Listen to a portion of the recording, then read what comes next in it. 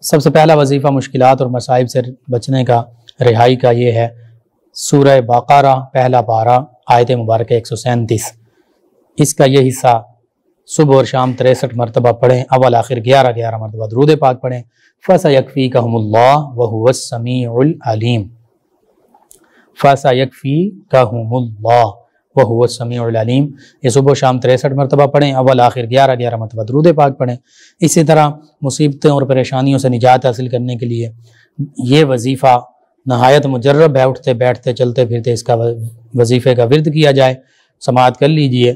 فَسَهِلْ يَا إِلَٰهِ كُلَّ صَعْبٍ۔ فَسَهِلْ يَا إِلَٰهِ كُلَّ صَعْبٍ۔ بِحُرْمَةِ سَيِّدِ الْأَبْرَارِ سَهِلْ بِحُرْمَةِ سَيِّدِ الْأَبْرَارِ سَهِلْ اسی طرح تیسرا وظیفہ یہ ہے کہ تحجد کی نماز کے بعد، یا حیو یا وہابو یا حیو یا وہابو اس کا ذکر اس طرح کریں کہ دائیں طرف یا حیو کی ضرب لگائیں اور بائیں طرف یا وہابو کی ضرب لگائیں اور یہ ایک ہزار مرتبہ پڑھیں۔ یا حیو یا وہابو یا حیو یا وہابو انشاءاللہ مشکل سے مشکل معاملہ جلد حل ہو جائے گا۔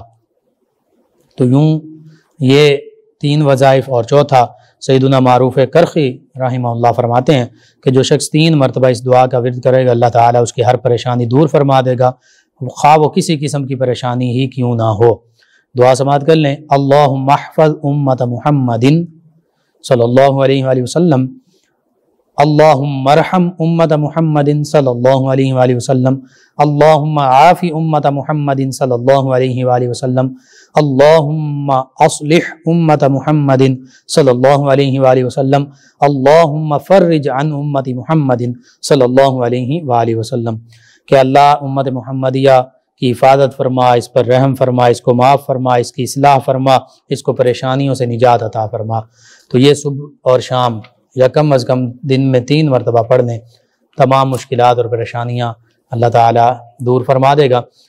اسی طرح سیدہ ام حانی رضی اللہ عنہ نے آقا کریم صلی اللہ علیہ وآلہ وسلم سے روایت کیا کہ یہ دعا مانگا کرو، اللہم رب النبی محمد اغفر لی ذنبی، اللہم رب النبی محمد اغفر لی ذنبی، وَأَذْهِبْ غَيْذَ قَلْبِي وَأَذْهِبْ غَيْذَ قَلْبِي وَأَجِرْنِي مِن مُدِلَّاتِ الْفِتَانِ وَأَجِرْنِي مِن مُدِلَّاتِ الْفِتَانِ اے نبی کریم محمد صلی اللہ علیہ وآلہ وسلم کے رب ذوالجلال، میرے گناہ معاف فرما دے اور میرے دل کے غصے کو دور فرما دے اور مجھے گمراہ کر دینے والے فتنوں سے محفوظ رکھ۔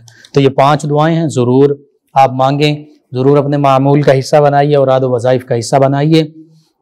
تمام مسلمان بالخصوص جو خاص طور پر مختلف پریشانیوں، مسائب، مصیبتوں میں گھرے ہوئے ہیں۔ ضرور اپنے معمول کا حصہ بنائیں۔ اللہ پر کامل یقین رکھتے ہوئے اللہ تعالیٰ مشکلات سے آسانیاں فرمائے گا۔